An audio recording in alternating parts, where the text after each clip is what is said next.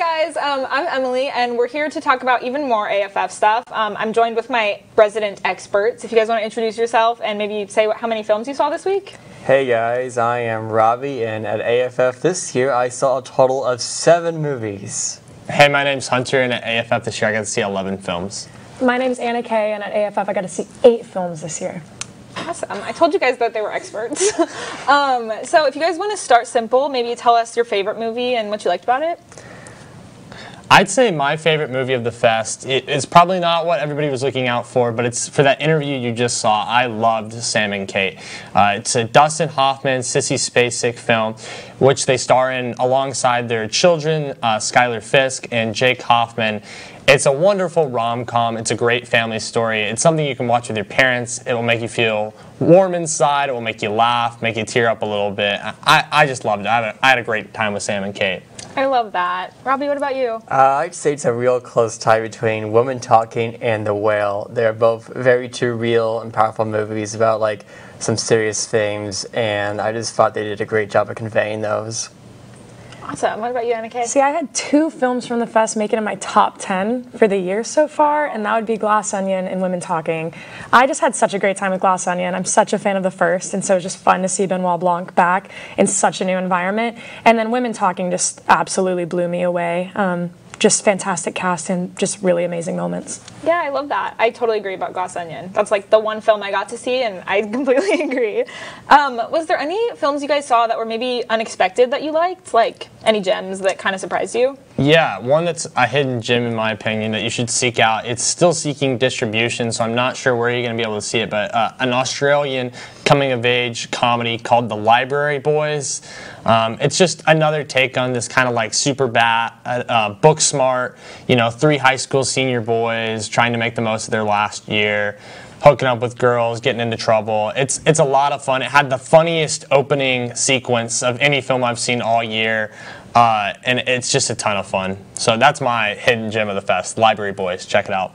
I feel like I got to see like a lot of the marquee films, so not a lot of hidden gems, but I did see Library Boys as well, and it was it was a blast, and the whole theater just had a really good time with it. So hopefully it gets distribution because I'd love to see it again. Yeah, that's awesome. Did you have any that surprised you? Uh, sort of. I mean, like there's. I was gonna say like Glass Onion because like I didn't know if they would be able to top you know the first like Knives Out, but they did. They did a really good job. It was a super awesome, cool mystery whodunit. Nice. Yeah, totally agree. Um, so I know Robbie kind of touched on it, but The Whale was the opening night film, and that obviously was getting a lot of buzz. It was a big deal. Um, do you guys have any thoughts about the movie? What'd you think? What'd you rate it? Overrated. Very overrated film. Um, Darren Aronofsky's uh, commentary in the film is about as subtle as getting hit over the head with a hammer. Um, Brendan Fraser is fantastic. I'm not going to discount that. Uh, he should probably be the front runner for Best Actor. Um, and but I think the filmmaking is just adequate, and I think the script is quite poor. I think it's really just not well handled at all, and they're just not subtle in the slightest. I feel like I'm such a middle ground with The Whale where like I enjoyed it and I'm really glad that I got to see it. I don't know if I'll ever sit down and watch it again. It's a little draining to watch because of how sad it is in that nature. I do believe that all the hype for Brendan Fraser is like completely deserved. Um, that performance is just spectacular, and I'm a huge Stranger Things fan, so seeing Sadie Sink um, in another role was just so impressive, and I really love her work always. So overall, I felt good about it. Wouldn't really watch it again. Yeah, I loved it. It's uh, in my top five of the year. It's uh, one of my favorite movies from Aronofsky now. So um, you guys are just um, wrong. Did you like when he turned into Black Adam at the end of the movie and like ascended up to heaven or whatever? Oh yeah, the hierarchy of power and the Aronofsky CU really changed. changed really forever. changed. Yeah. hmm Okay, so some mixed reviews about The Whale. Um, we all kind of also touched on Glass Onion, but that, I know that was another big one that was getting a lot of buzz. Did you guys have any other thoughts about that one?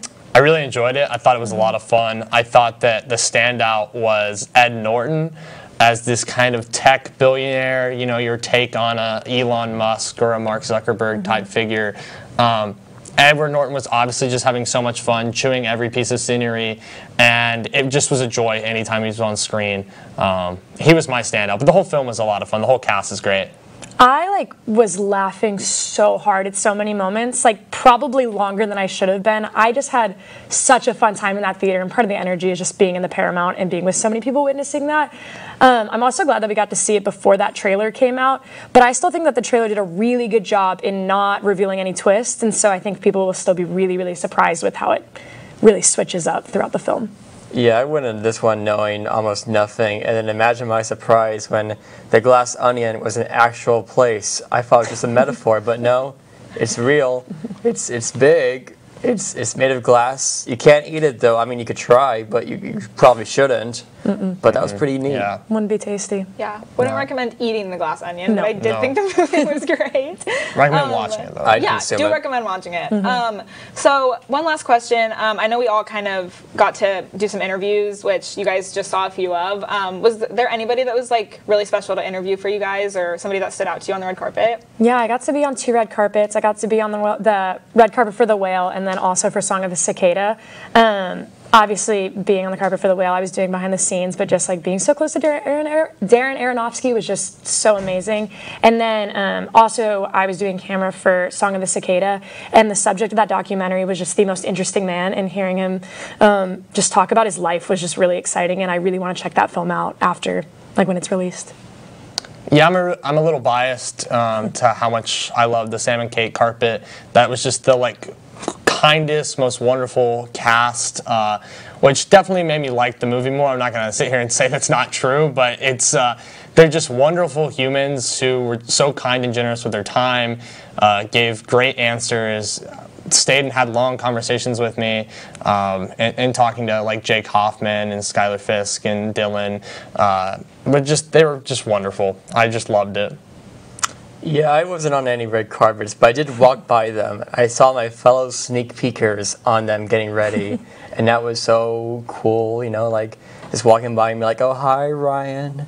Hi, Sydney. you guys seen the movie? No, well, I am." So that was awesome. Yeah, for sure. Um, well, that's wonderful. Um, we had a great time at AFF this year, and we are already looking forward to next Oh, yeah. Year. Um, That's all the time we have for tonight, but thank you guys so much for watching, and we'll see you next week.